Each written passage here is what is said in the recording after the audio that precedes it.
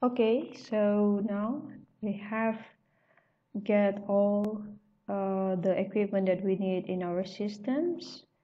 And also we have the information of how much power do we need to uh, operate the pump so that it could pump uh, from the cooling tower to be ready to enter the preheater.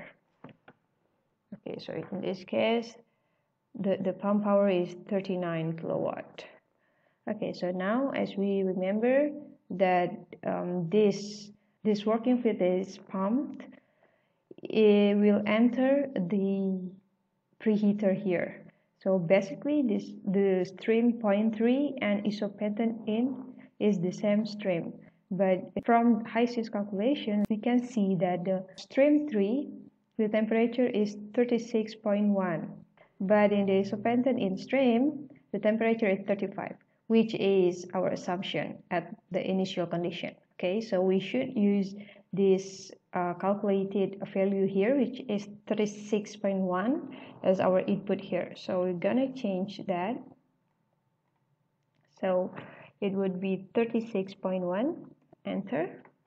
And after that uh, from the pump design I change the outlet to be isopentane in okay so now we have a closed loop and we can delete the stream 3 so stream 3 basically just therefore help us calculating the correct temperature for isopentane okay so yeah that's all. So we already have the closed loop of the geothermal binary power plant system so uh, the amount of power that we can get is 773.3 kilowatt and the amount of power that we need to operate the pump is 39 kilowatt.